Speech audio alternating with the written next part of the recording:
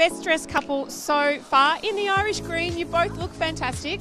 Bit of a slap in the face to whoever came before us, but I'll take it. Sorry. It's like actually the first proper night I've, I've caught up with Lauren, which was good. Um, but trying to enjoy the moment, um, trying to. I mean, it might never happen again, so I've really trying to been trying to embrace it. But last night was time to go home. Uh, and who's going to win tonight?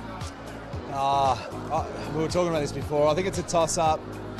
Tommy Hawkins is up there for me. Mark Blicavs, um, he's had a really consistent, fantastic year. Cam Guthrie's always up there. Jeremy Cameron obviously has played a fantastic year too. So Now, he promised that he'd take you down to Geelong Travel. Where are you going?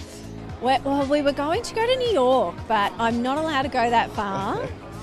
yeah, so we're going to go to Hawaii. So I'll be able to sit on a beach and relax there.